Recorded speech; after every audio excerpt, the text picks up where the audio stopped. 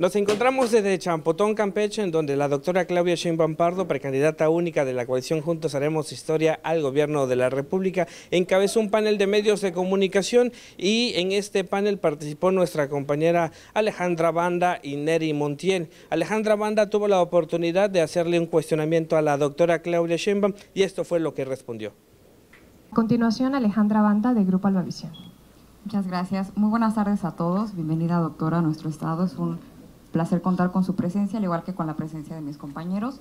Estamos transmitiendo completamente en vivo para Canal 13.1 de la señal de Canal 13 Campeche. Y bueno, pues me gustaría comenzar mi pregunta de la siguiente manera. Sabemos que se acaba de reunir en la mañana con los jóvenes, que pudo escucharles y conocerles.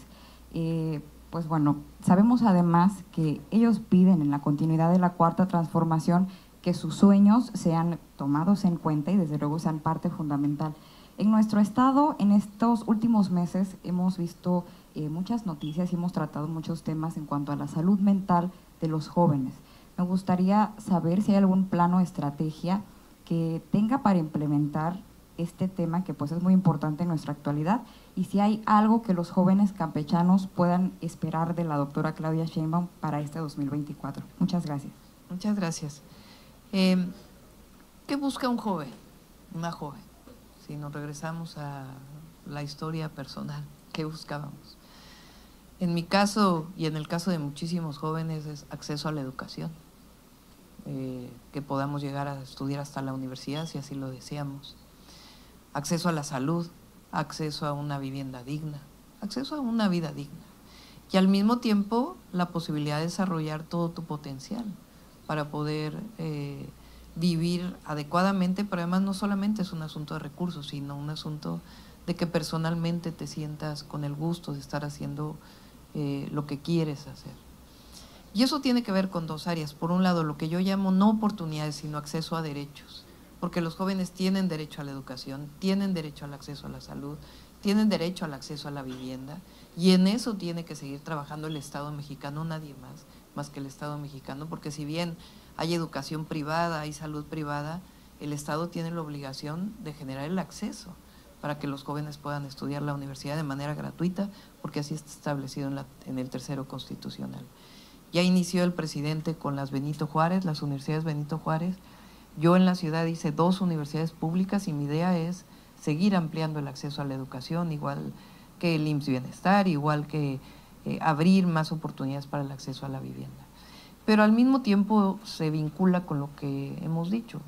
En Campeche tiene que haber eh, acceso a un empleo digno eh, y eso tiene que ver con el desarrollo del propio Campeche. Y yo he dicho, el presidente por primera vez, yo creo que en la historia volteó a ver al sureste y eso no va a parar.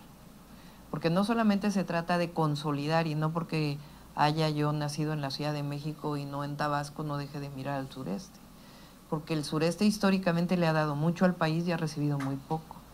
Por primera vez está recibiendo mucho y eso no puede parar, por lo que significa el sureste para nuestro país.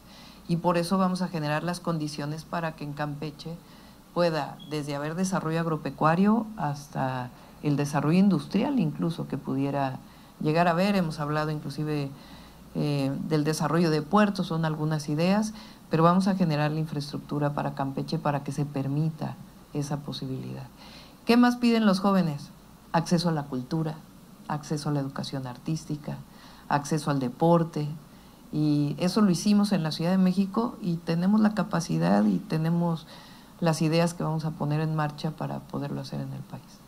Pues ahí lo que respondió la doctora Claudia Sheinbaum Pardo, precandidata única de la coalición Juntos Haremos Historia al Gobierno de México, durante su participación en este panel de medios de comunicación realizado desde Champotón, Campeche.